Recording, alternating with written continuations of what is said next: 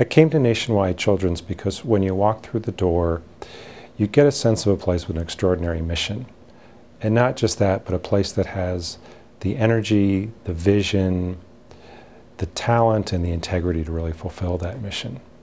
Like many people at Nationwide Children's, taking care of kids is not simply something that I do, it's really who I am. And in Nationwide Children's, I really found a place where there are others that truly share that passion.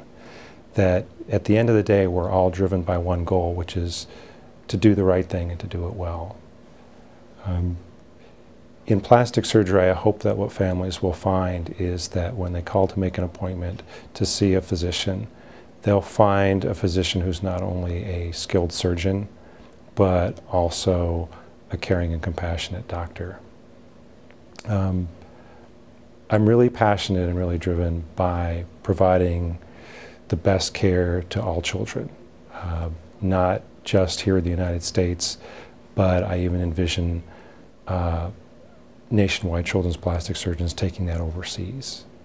I see plastic surgery at Nationwide Children's growing to become a real national leader in multidisciplinary clinical care, in research, in education, and in international outreach. We've learned in plastic surgery that the best outcomes that you can achieve are really achieved when the plastic surgeon doesn't work in isolation, but works as part of a multidisciplinary healthcare team.